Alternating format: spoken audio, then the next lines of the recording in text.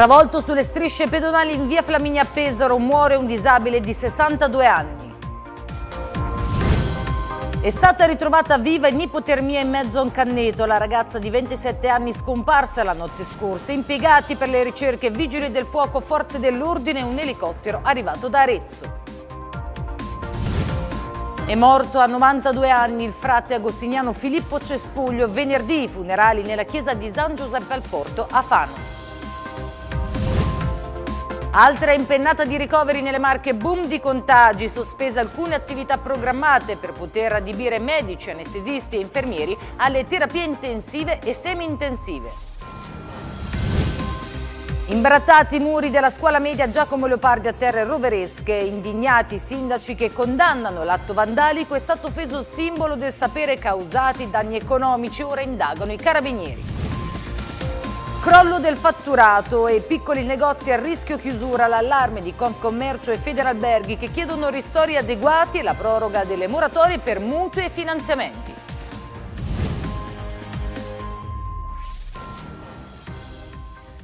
Buonasera e bentornati sul canale 17 di Fanu TV per una nuova edizione di Occhio alla Notizia. Apriamo il nostro telegiornale con il tragico incidente che si è verificato nel tardo pomeriggio di oggi in via Flaminia Pesaro dove è morto Antonio Cetta, un disabile di 62 anni travolto da una jeep sulle strisce pedonali. L'uomo molto noto in città è deceduto poco dopo l'impatto. Era a bordo di una carrozzina elettrica quando ha attraversato la strada all'altezza del negozio Fidomania. Sono ancora in corso gli accertamenti da parte delle forze dell'ordine che stanno indagando sull'accaduto. Sul posto la Polizia di Stato, i vigili urbani e un carattrezzi. La strada è stata temporaneamente chiusa al traffico per le operazioni di soccorso e di recupero dei mezzi coinvolti. E sono state ore di apprensione per una giovane mamma scomparsa nella notte e ritrovata oggi pomeriggio a Candelara nel comune di Pesaro. La ragazza infreddolita e in stato confusionale è stata affidata alle cure dei sanitari. Tutti i particolari nel servizio di Angelica Panzieri.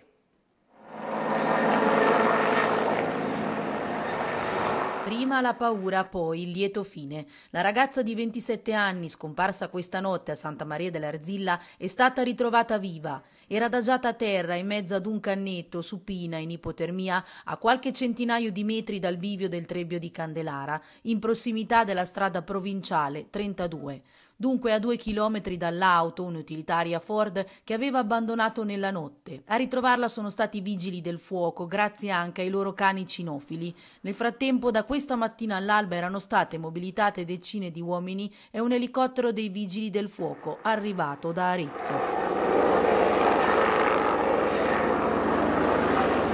Le ricerche delle forze dell'ordine, assieme a quelle dei pompieri, sono proseguite senza sosta fin quando intorno alle 14.30 la ragazza è stata ritrovata. Il motivo che l'ha spinta a finire in quel luogo è ancora da accertare, ma la giovane, essendo stata trovata in stato confusionale, è stata portata in ospedale. E oggi è tornato alla casa del padre il frate agostiniano Filippo Cespuglio i funerali si terranno venerdì a Fano, nella chiesa di San Giuseppe al Porto. È morto all'età di 92 anni padre Filippo Cespuglio, frate agostiniano, che si trovava in cura nella residenza sanitaria Casargento a Fossombrone. La diocesi oggi ha ricordato la storia di padre Filippo che fu battezzato in fretta da don Alfredo Campolucci perché in pericolo di morte. Aver superato questo grave momento fu da lui attribuito alla Madonna delle Grazie venerata Saltara. Di famiglia numerosa decise di entrare nel convento degli Agostiniani a Cartoceto in qualità di fratello converso. Poi nel 1970 colse l'invito a recarsi missionario in Perù, dove restò per dieci anni, frequentando al seminario di Cuzco e ricevendo l'ordinazione presbiterale il 26 aprile 1978. Rientrato in Italia per motivi di salute, svolse il suo ministero nella comunità di Tolentino, Pesaro e Fano. Molto amato per la sua umanità e il suo carattere mite e buono, padre Filippo ha sempre aiutato tutti con generosità. Le esequie, presiedute dal vescovo Armando Trasarti, saranno celebrate venerdì alle ore 10 nella parrocchia di San Giuseppe al Porto. Anche domani invece rimarrà allestita la camera ardente nel convento agostiniano attiguo alla chiesa. La salma verrà tumulata nella tomba di famiglia nel cimitero di Saltara. E adesso ci spostiamo a Orciano di Terre Roveresche dove i vandali hanno imbrattato i muri della scuola media, un gesto condannato dai sindaci ma anche dall'intera comunità. Il servizio di Filippo Pucci. Siamo nel comune di Terre Roveresche, più precisamente a Orciano, dietro di me la scuola media Giacomo Leopardi. Qui nella giornata di domenica si sono registrati degli atti vandalici. Il plesso, che ospita anche gli alunni di Mondavio, è stato preso di mira dai vandali che, muniti di pennelli e vernice trovati all'interno dello stabile, hanno imbrattato i muri appena ritinteggiati, visto che l'immobile è in fase di ristrutturazione e completamento. Che siamo qua in questa scuola che stiamo ristrutturando, che ha già avuto delle lunghe vicissitudini, e oltre ai tanti problemi che abbiamo avuto, riguardo a tante ditte che abbiamo incontrato, diciamo dei buon temponi hanno avuto questa così eh, alzata di ingegno, questa bravata, chiaramente è inqualificabile e sia io che il mio collega di Mondavio, Mirko Zenovi, condanniamo senza se e senza ma, in cui ecco appunto hanno imbrattato i muri già pronti con delle scritte di questo genere, ma chiaramente anche peggiori. Bestemmie, simboli, disegni di poco gusto e frasi senza senso sono apparse sui muri di tutti i piani del plesso scolastico, aule comprese. Un gesto che rappresenta uno sfregio non solo per la struttura, ma per l'intero territorio, si legge in una nota rilasciata dai due comuni. Proprio quando ci si stava avvicinando all'ultimazione dell'opera, dei vandali hanno voluto danneggiare e offendere il luogo simbolo della socialità, della coesione e del sapere, causando danni economici. Tanto lo sdegno sui social dei cittadini e delle famiglie. Sull'accaduto ora indagano i carabinieri di Terre Roveresche per dare e trovare dei nomi a chi ha compiuto questo gesto inqualificabile. Speriamo che gli autori di questa bravata, chiamiamola così, vengano in qualche modo rintracciati, che sarebbe opportuno che veramente per una volta chi sbaglia veramente paghi, perché qui oltre alle scritte eccetera abbiamo chiaramente imbrattato e danneggiato un bene pubblico che non è né mio né del collega di Mondavio ma di tutte le comunità. E soprattutto è ancora più inqualificabile questo gesto perché? Perché viene fatto proprio all'interno di una scuola che dovrebbe educare al meglio i nostri figli. E adesso la pagina della sanità, da oggi lo sappiamo anche la provincia di Pesaro Urbino è in zona rossa, c'è stato un aumento di ricoveri di contagi che comporterà anche la sospensione di alcune attività negli ospedali della nostra regione. Nelle Marche la vaccinazione prosegue a ritmi serrati che permettono alla regione di rimanere in testa per la copertura. D'altra parte però aumentano i positivi al coronavirus e i ricoveri negli ospedali, un fattore questo che ha comportato la sospensione di alcune attività programmate per poter adibire medici, anestesisti e infermieri alle terapie intensive e semi-intensive. Lo ha spiegato con un post pubblicato su Facebook l'assessore alla sanità Filippo Saltamartini che ha elencato i dati alquanto preoccupanti. L'occupazione dei posti letto in terapia terapia intensiva, fa sapere l'assessore, ha superato da giorni la soglia critica del 30%, come pure l'occupazione dei posti in area medica, che dovrebbe essere al 40% e invece supera il 50%.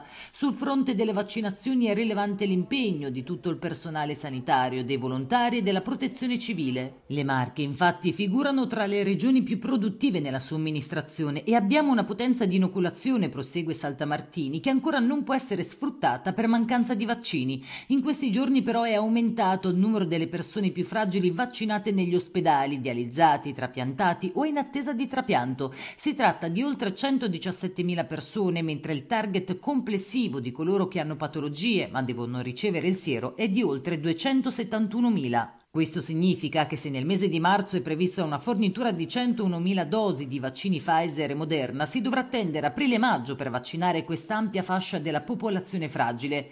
La provvista di marzo coprirà una parte delle persone con più di 80 anni, sono 133.000, e una parte degli estremamente vulnerabili. Raccontare i fatti e dire la verità serve per essere consapevoli del periodo che stiamo vivendo, ha proseguito l'assessore, che ha rinnovato la richiesta al governo di avviare al più presto investimenti per la produzione produzione dei farmaci, tra cui gli anticorpi monoclonali in Italia. Ad intervenire sul tema sanitario oggi è stato anche il vicepresidente della regione Mirko Carloni che esattamente un anno fa, il 10 marzo, era al pronto soccorso per una febbre leggera e tosse secca.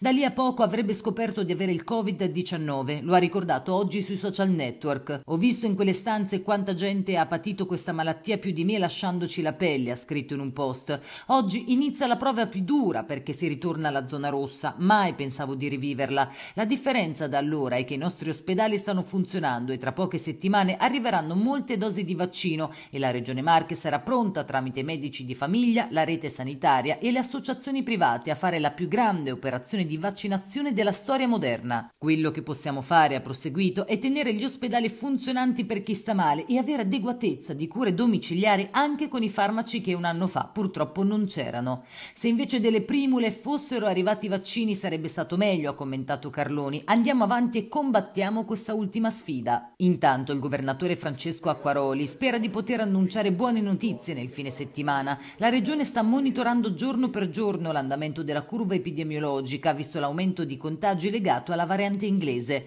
Nelle ultime 24 ore è stato registrato un alto numero di casi, 881 positivi al virus, di cui 358 in provincia di Ancona, seguita da Macerati e da Pesaro Urbino. Nei giorni scorsi, infine, c'è stato un forte aumento in alcuni territori, ma non su Ascoli, dove è stata riscontrata, al contrario, una decrescita. Oggi, ricorda Acquaroli, abbiamo quattro province su cinque in zona rossa e credo che potremo essere confermati in zona arancione anche la prossima settimana.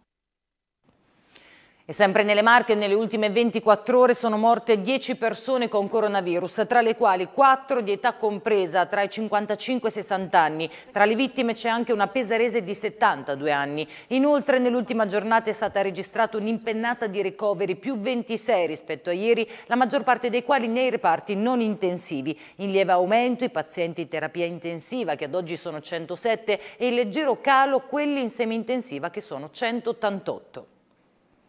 E sempre in tema di vaccini, domani, giovedì 11 marzo alle ore 17, in streaming sui canali Facebook e YouTube del Comune di Fano e Fano Cammina, interverranno Marco Monagli e Augusto Oliverani. I due dottori dell'Asura e Revasta 1 parleranno delle fasi del programma ministeriale vaccinale che prevede la chiamata graduale della popolazione alla vaccinazione anti-Covid, nonché dei vaccini attualmente disponibili sul mercato e dei centri di somministrazione previsti nella provincia pesarese, introdotti introduce e modera l'incontro l'assessore Sara Cucchiarini.